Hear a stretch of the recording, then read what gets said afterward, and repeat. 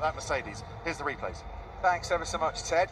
And that was Max Verstappen getting away rather nicely. Hamilton comes across then to take a decent line into turn one, and then what happens, Karun? He goes for the move. Yeah, I Just think. a merest contact, wasn't it? Yeah.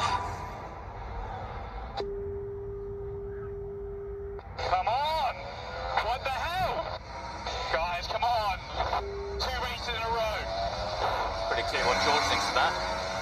Gets the slipstream there. Look, he moves across to the middle, and at this stage, uh, he he had no wiggle room, right? He No. could have moved to the right.